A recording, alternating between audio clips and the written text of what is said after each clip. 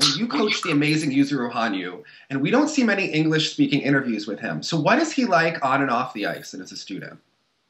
He's um, uh, he's very much a student of the sport, as as much um, as he's accomplished. He, he's you know he's got the humility. He still wants to learn. He's he's young and fun and and giggly. Like he will, he'll laugh easily, and he celebrates the other skaters. He will he will cheer them on. He'll be the first one to to cheer on some one of the skaters. He'll be out there in the stroking classes. Uh, he'll push himself to the limit. He will get up and back off the ice, bow to the ice, thank it, touch it. Um, shows respect for the other skaters. There was a skater once a few years back who was um, who got in his way, and the skate. I think the skater was had his music on, and Yuzuru and him, and he had to stop, and the skater just sort of went blah, blah, blah, blah, blah, right, and and we went up to him and said, you know, no, that doesn't cut it.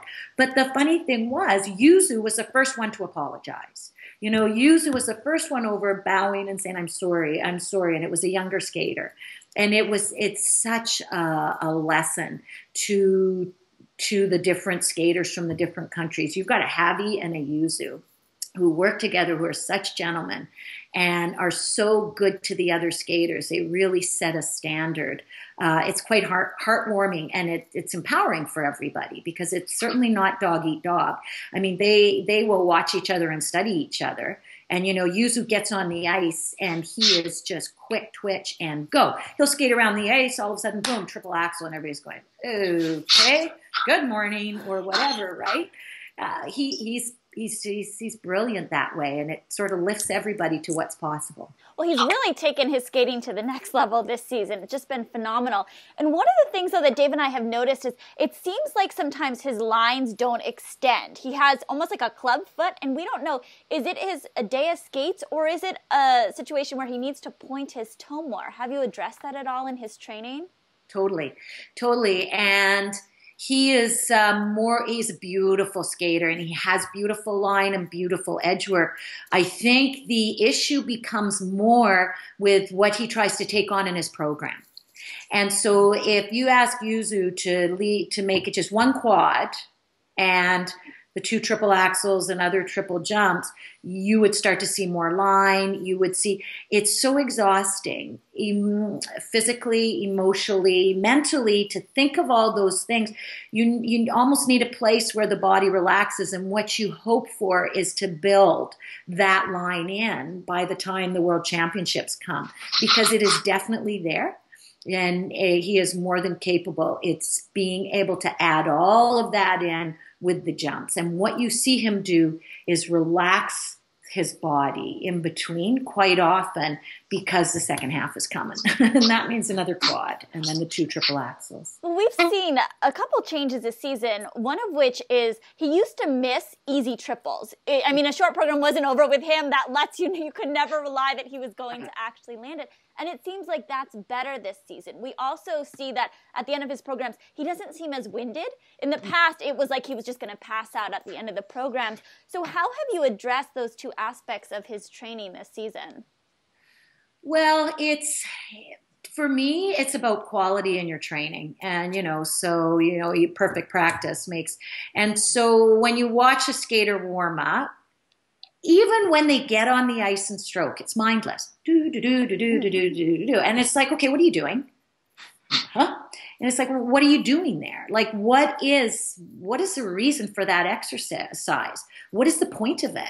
Other than just warming up your body, which you did off ice, what is the point of it? Well, the point of it is the feet come in together. You ski, squeeze the inner thighs. You lift the body. You feel the rib cage. You feel the core support it. This is where you do your mindful work because you don't have time to do that in the program. You've got all the jumping. So you better have built it out of the program. And then when you go to warm up your triples, you're not just warming up triple jumps and flopping and the whole bit.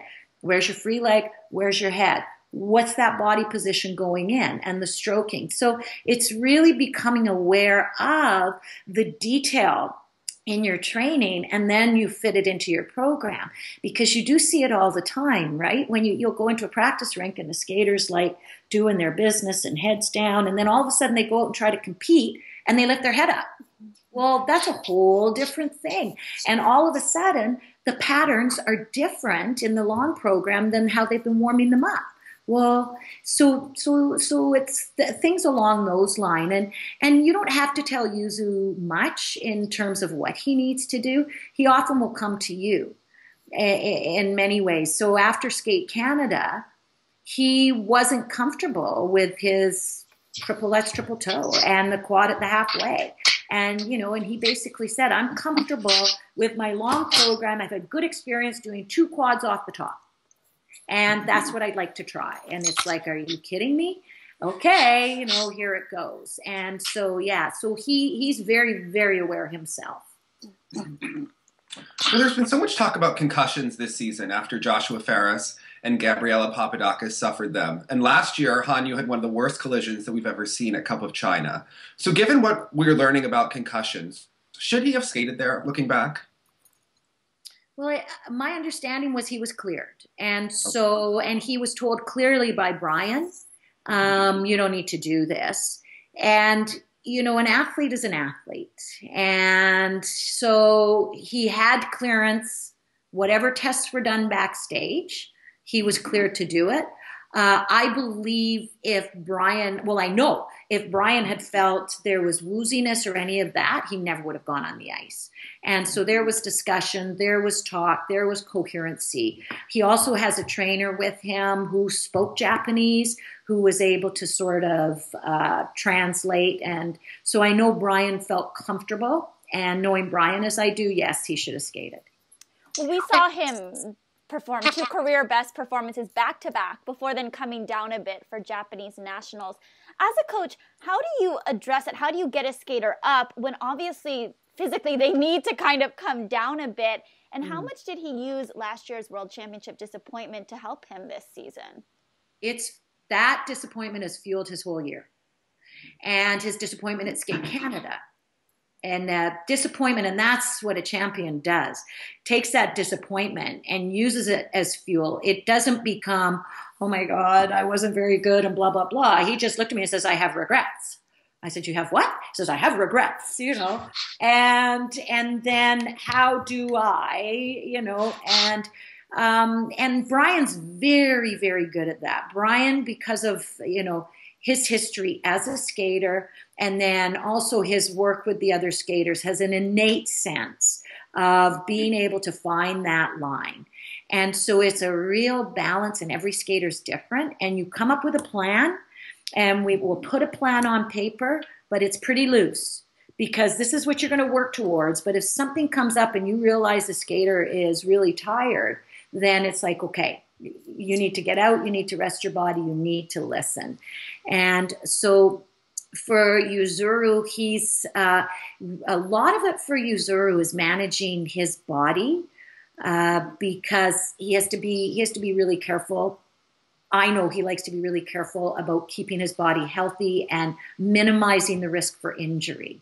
And um, and so it's it's really you hope you know that you have enough uh, weeks. I like to have at least five weeks before Worlds where you can just be doing consistent training so that you know and you and you basically you start out with we're not going for perfect. Do not think this is worlds here and don't try to compete with that. This is about training. This is about getting it done. This is about upping the averages etc well, speaking of plans, we have seen Hanyu practice an incredible quad loop often in the exhibitions. So, just how close is it to being included in the program, and will we see it at Worlds? I don't know. That'll be that'll be up to Yuzuru, and we're we're a little far out. He's in Japan right now, coming back. Um, I believe it is next week, and that will be up to him. I doubt if uh, if he'll do it this year in competition. However, his his loop is beautiful, and it can go it can go at the beginning of a program. I think uh, that that will come up. That will I'll let you know. I'll keep you posted. But send us a text or something. Well, yeah. In addition to coaching Yuzuru, you also worked alongside Yuna Kim, and both she and Hanyu they have the weight of entire countries on their shoulders heading into these events. So is that something you spoke a little bit earlier about her just breaking down before the Olympics?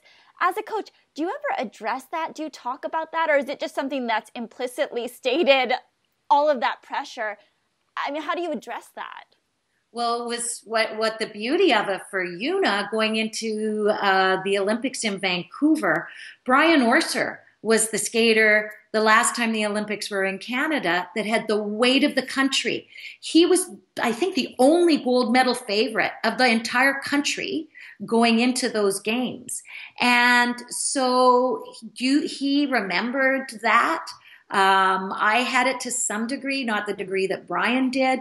And yes, we talk about it. It's such a factor. And then, and, and as soon as you address it, things sort of go away. And Brian's amazing that way and amazing with Yuzu in because of the experience that he's had himself as a skater with Yuna and now with Yuzu. There's uh, there's nobody better in terms of knowing exactly what that's like, a sense, just a sense, and being able to find those words to move the skaters to to move them in the right direction and the place of sort of ownership uh, control of what they can control is that his philosophy i mean i'm sure the what he says to them is different per each situation but is it a sense of this is your skating as opposed to doing this for somebody else i mean what is the gist of the message he's trying to get across to them Yes, the, the, the I think the message is it is personal. It's it's about you and what you're capable of, and it's one step at a time. And that step can be where you're at at Skate Canada, where you've been in training, coming in. You can't all of a sudden go out and try to land four quads if in practice you've barely been doing one. I mean, there's a realistic sense of where you're at in your training how you got there and what you're capable of. And so that's what allows a skater that honesty um, that allows them that sort of comfort. They're not trying to do something that's virtually impossible. And and also the training of, you know, if you try to be perfect, well, we all know that is rare and jumps are rarely perfect. So chances are it's not going to feel perfect. You failed. So let's forget perfect. Let's go and you got to open yourself up to deal with whatever it is. Because you can miss the first quad and go on to win the Worlds or the Olympics, you know, if you have the presence of mind to deal with that.